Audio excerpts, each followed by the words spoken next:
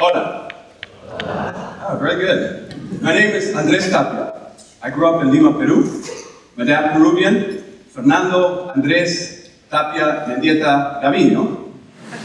My mom American, Jackie K. Grant.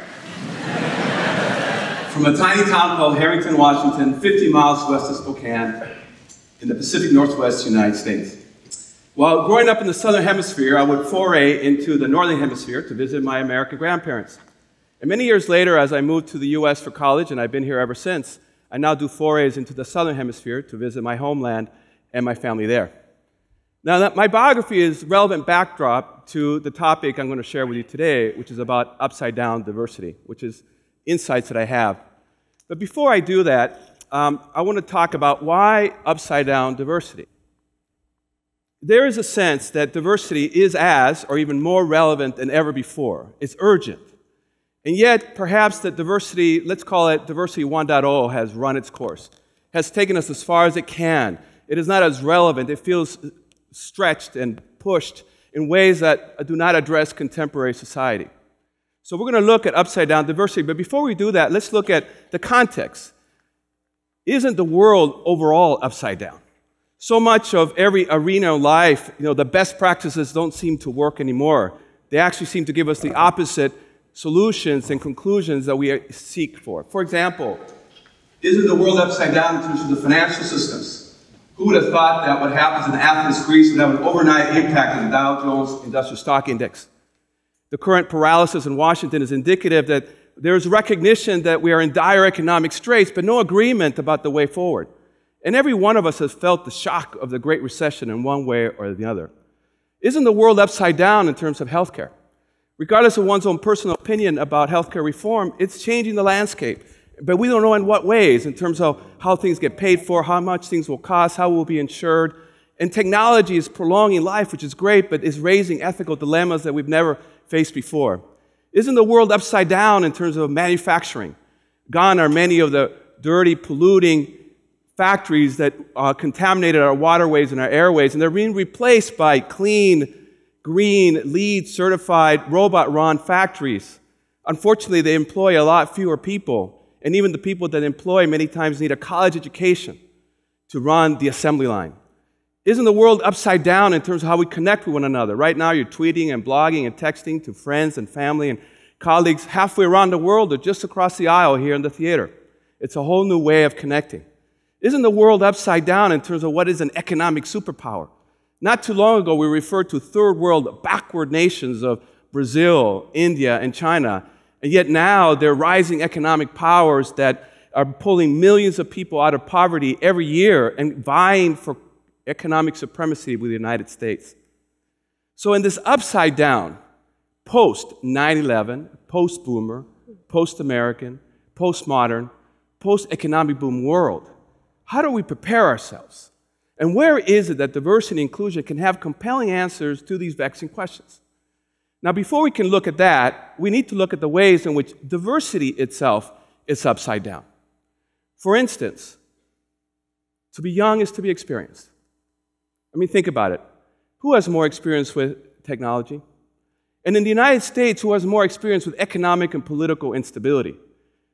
You know, for the baby boomers, after the tumultuous 60s, it was a pretty predictable existence. You could predict your salary increases on a regular basis on a yearly way. If you're on a career track, you can predict your cadence of your promotions. You can predict your retirement egg with an 85% probability. So even though millennials have been hardest hit by the Great Recession economically, it's been boomers that have been hardest hit psychologically. They're trying to figure out what happened to the world in which I learned to be successful in. When boomers were in their 20s, they were the counterculture. Millennials are the culture. When boomers turn 30, they're mainstream. Millennials are the mainstream.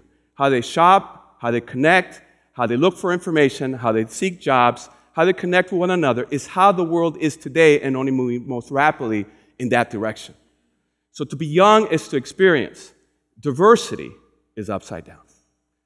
To be a minority is to be a majority. I mean, there's that stalwart diversity word, minority. But what does minority mean? When 50 US cities, minorities are majorities. 10 US states, white men are a minority group. And this summer, in the state of California, Latinos hit a benchmark milestone.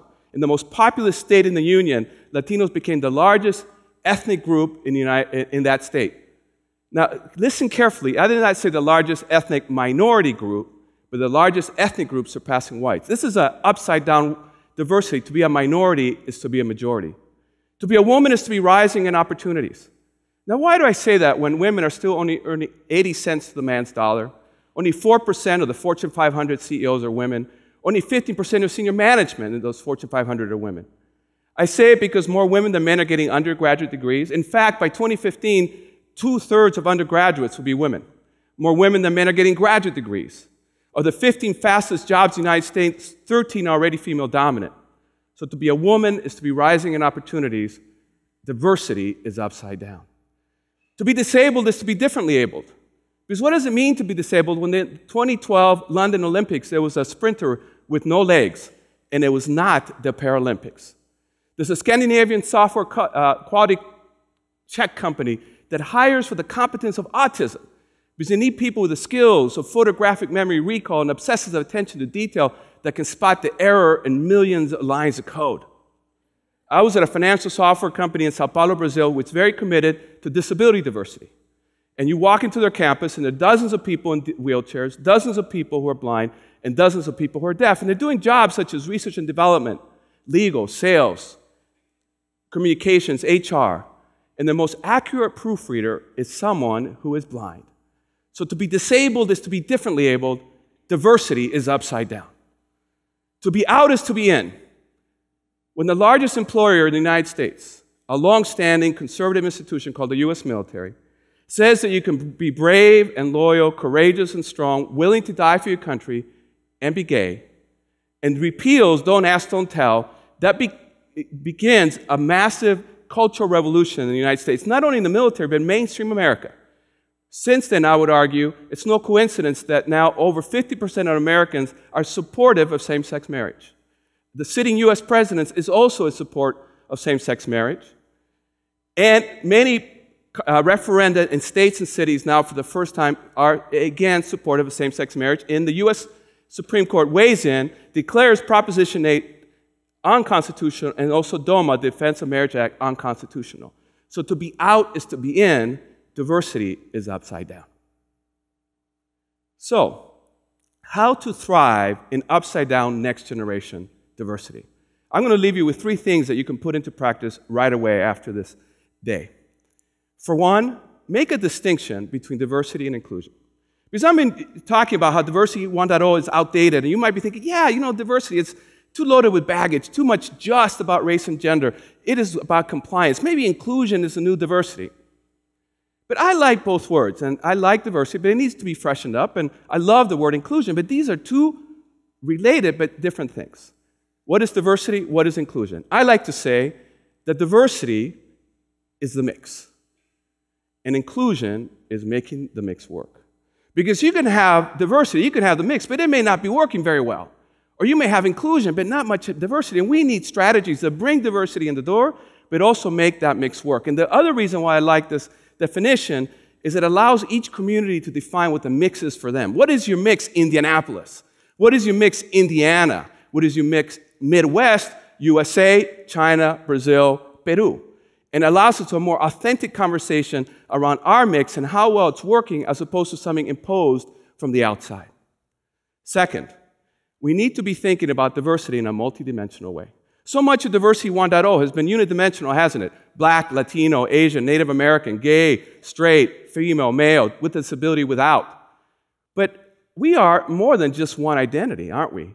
I mean, we can be, we have our gender, we have our sexual orientation, we have our, our uh, ethnicity, we have our race, we have our nationality.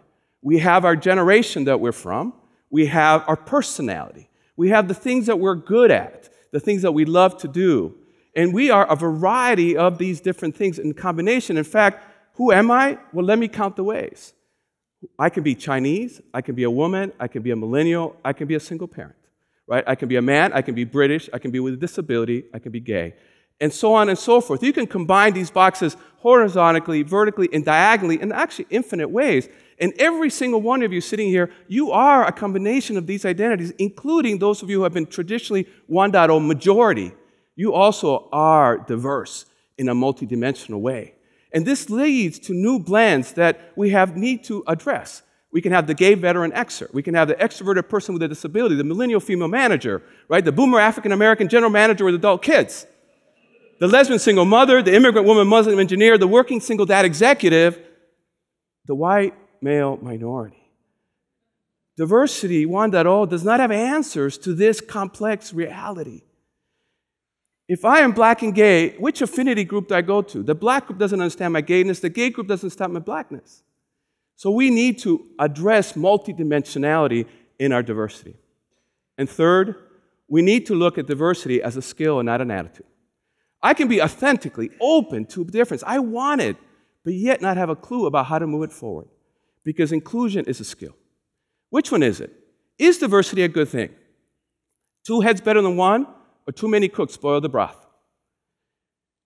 Diversity champions like to cite statistics that show and studies that diversity is a good thing, that leads to greater creativity and innovation. But here's the problem there's equally compelling studies that show that diversity is not a good thing. It leads to more difficulty and conflict and chaos in the workplace friction, productivity suffers, lawsuits go up. So, which one is it? Is diversity a good thing or not? An interculturalist by the name of Dr. Milton Bennett said, You know, these are credible academics on both sides of the equation. There must be an explanation for why they're coming up with opposite conclusions.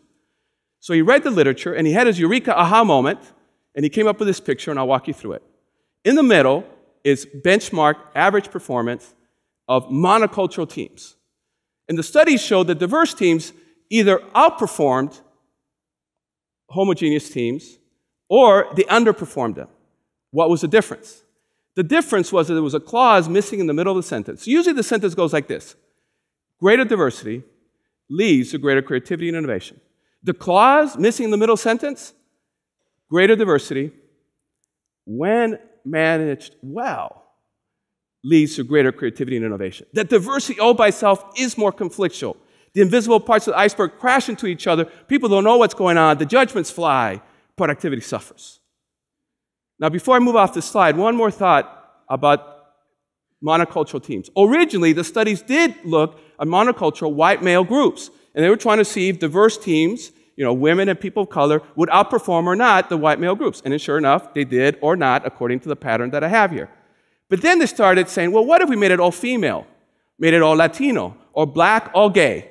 and this pattern still emerged. It didn't matter what the organizing homogeneous principle was, they were either outperform or underperform based on whether the diverse teams were managed well. So it was not just a white male thing, it was a homogeneous issue.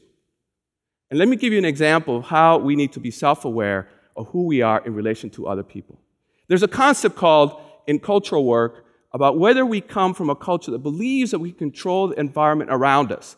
And those are referred to internal control cultures. And external control cultures believe they cannot. They're more rooted in, you know, fate. And listen to the language and messages we hear on mama, mama's, or mom's knees as we're growing up. This is the language of internal control culture. Pull yourself by your bootstraps, tame the Wild West, and God helps those who help themselves. Now, contrast this to the worldview that shows up growing up on mama's knees in a culture rooted in Latino Catholic fatalism. Dios quiere, God willing, inshallah. Que será, será. What will be, will be. And if I show up late to Indianapolis International Airport when it's time for me to leave and I miss my plane, I will not say the Spanish equivalent of I miss the plane. What I would say is, el avión no se dejó, which in English means the plane left us. no sé qué pasó, pero ya se fue. I don't know what happened, but there it went. An extra sense of outrage at how dare that community, community of people I'm supposed to be a part of leave me behind. So, diversity and inclusion, right side up, it's all about me, it's all about them, all about us. We get the them part. I want to learn all about those people that are not like me. I, I want to be enriched. Good for you. But don't forget the me part. What do you believe Why do you believe it? Where do you that belief come from? And this includes all of us, including white males. You have to be able to answer that question so that when you interact with those who are different, you can then do a compare and contrast between what you prefer, what you don't like, what you gravitate toward, and what you tend to judge, and what you tend to affirm. And then see where you are similar, and you will be in many ways, profoundly, and the ways in which you are different.